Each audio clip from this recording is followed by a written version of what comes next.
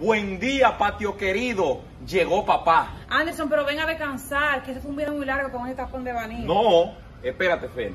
Ahí están faltando mangos. Yo sabía que la fan de venir era eso por los mangos. Ay, Virgen de Alta Gracia. Faltan del 42 al 67. ¿Dónde están mis mangos? Pero hombre de Dios, descansa y lo cuenta más tarde porque deben estar ahí. ¿Cuál es la agonía? Fer, ¿dónde están mis mangos? Mira, en esa misma rama estaba el 51, 57, 62, 64, 69 y par de 6.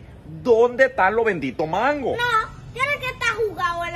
mínimo. Para eso tienes tú la memoria fresquecita, pero para responsabilidad de la casa todo se te olvida. Entonces esto es un chiste para ustedes, ¿eh? Aquí se metieron los ladrones y en vez de robarse el tanque gas, lo que se me robaron fueron los mangos. Eso es desastroso. Anderson, pero teníamos 10 días fuera de la casa y si fue que se maduraron y gotearon. Mi mango no gotean. Mi mango se maduran y se pudren en la mata, pero no gotean. No te hablando disparate. Papá, ya pasó Semana Santa. Cógelo suave, hombre de Cristo. Cuando ustedes sepan lo que es responsabilidad de algo que le pertenece, ustedes van a saber cuál es mi preocupación. Ustedes me van a entender. Si yo sé que por eso que tú querías venir de madrugada, me quedo y te dejo venir solo. No, pero señor, entiéndanme. Yo tenía todo mi mango numerado y me jugaron sucio. Se me robaron 25 mangos. Coño, ustedes no entienden eso. Cuando viene a ver se pusieron malos y el vecino le dio lo primero auxilio. ¿Ustedes creen que haya sido el vecino?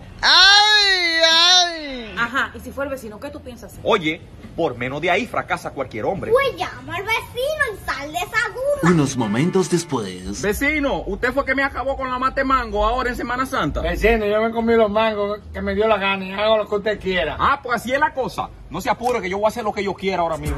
Esto no se sabe dónde vayas a parar.